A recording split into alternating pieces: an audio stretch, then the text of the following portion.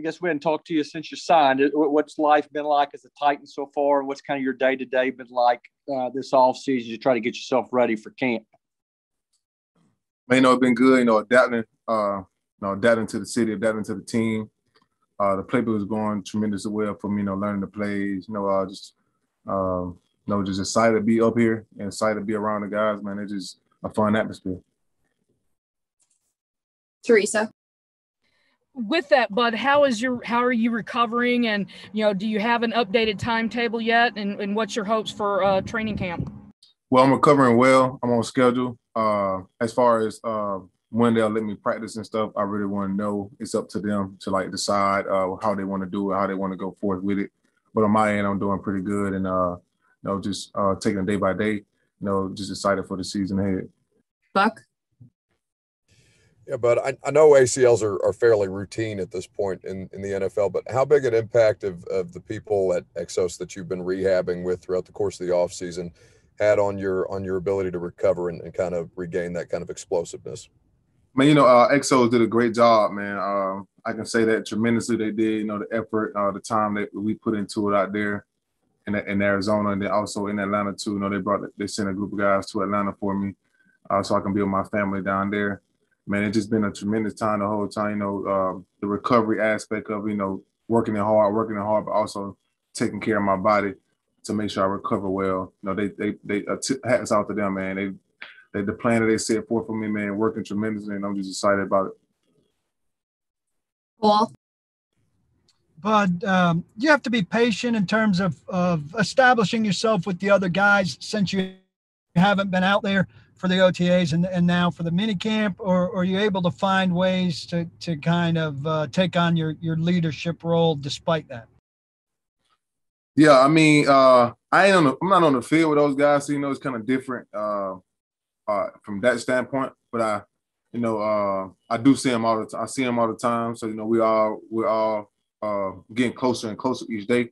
the more they know about me, the more they know me. You know, it just that dictates a lot about how a person feels uh, a person feels about you. And, you know, uh, I'm just excited to get on the field, man. Just show them that uh, you know that I work hard along with those guys. They see me going hard in the training room. They see me going hard in the off season uh, program that I'm in right now, getting better and trying to get back out there with those guys so I can make an impact right away. And uh, they respect it. Everybody's uh, excited for me to be here, and uh, I'm just excited, and I'm, and I'm more excited that they're accepting me being here on the team you been around or you've been mostly on, on Zoom until lately? No, I've been around. So, uh, well, mostly on Zoom uh, until until mini camp, but uh, but now, but I came up, I came back and forth a couple times, you know, trying to find places to stay. So I've been seeing guys here and there. Corey Curtis. Hey, Bud. Um, we all know the Titan sack numbers from last year and the sizable uh, investment they've made in you to fix that. How do you avoid mentally that weighing on you and maybe trying to do too much or just putting too much pressure on yourself to fix the whole thing yourself? Yeah, I mean it's a team effort, you know, but I'm a big part of that. You know, uh, pressure bursts pipes or, or pressure creates a diamond. So, uh, you know, you got to take it at that standpoint. Uh, I mean, it's no secret they got me here for that uh, to help out with the pass rush, and uh, you know, I put it on my shoulder and I and I wear that hat.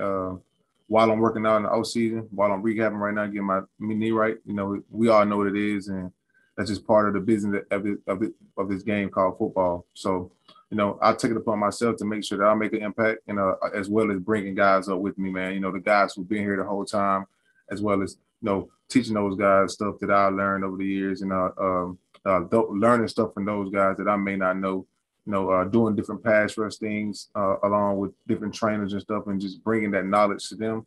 And also, you know, uh, if they do something with somebody else, just bringing that knowledge together and constantly communicating on how we want to rush and how we want to be the unit.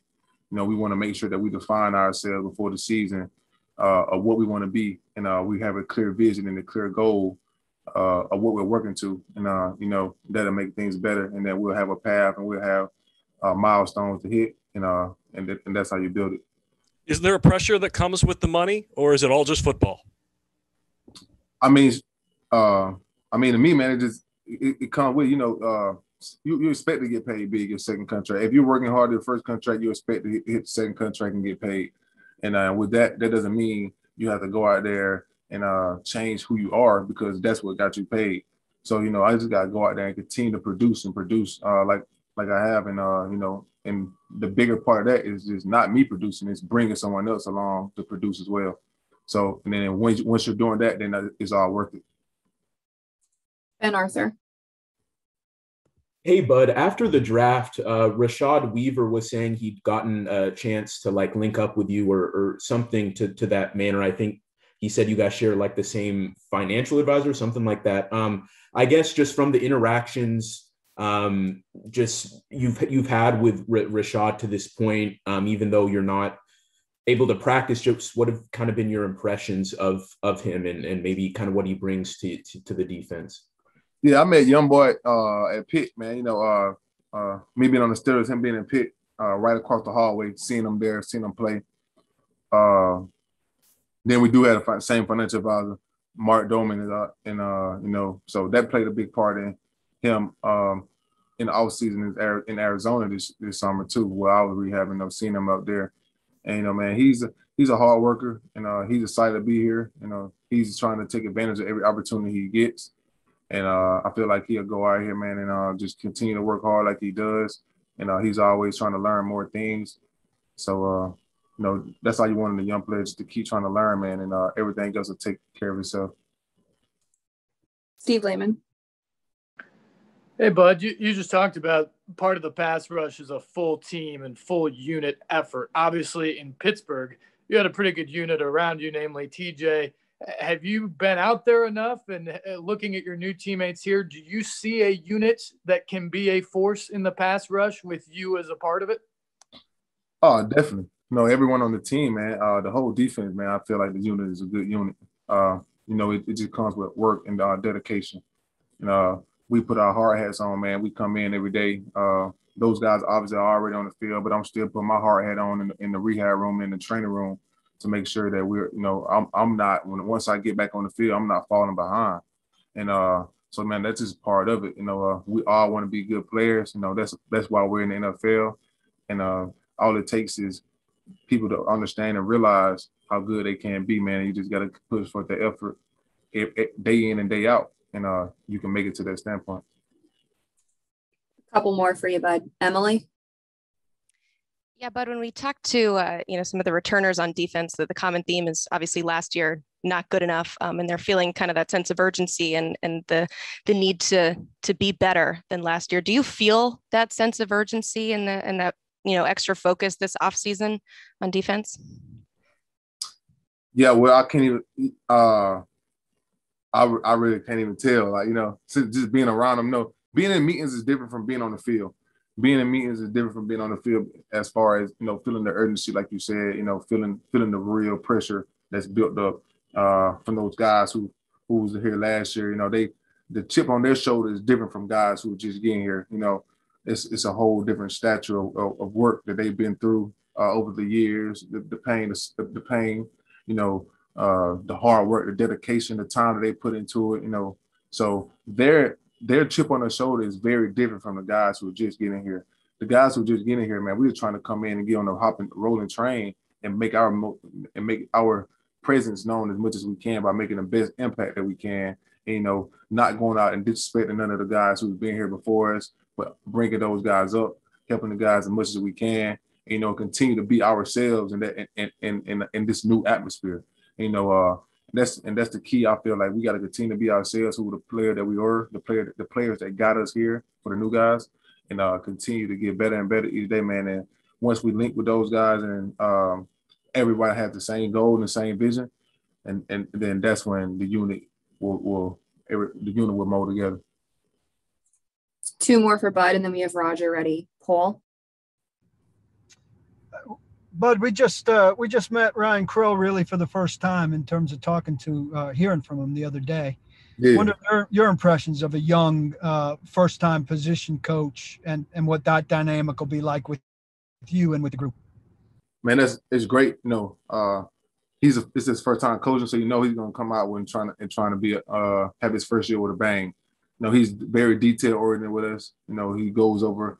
Uh, you know, the things that we overlook. You know, he's trying to make sure that we emphasize those things, the small things, the fundamental things of the game, the things that we know we learned in high school, bring it back up. You know, uh, taking he's taking pride in actually being a coach, man, and um and, and wanting to get guys better. And uh and that's all you can ask for, man. Just keep, continue uh to be real like he is. You know, you know, even though his first time, man, he got a lot of great players in the room that can help him out. And uh, you know, and uh, I'm excited for him. I'm excited to play. I'm I'm just as, as much excited to play for him than I know he is excited to coach us. Last question, Jim Wyatt. And Bud, this team has kind of changed since you first came aboard. I think you were the, maybe the first signing, and then Denico's come aboard. Janoris has come aboard. You got a new draft class that's heavy on defense, and then other side of the ball, you get Julio Jones last week, Josh Reynolds. What, what's it been like, kind of seeing all these additions to now your new team, and and what's your overall thought about it?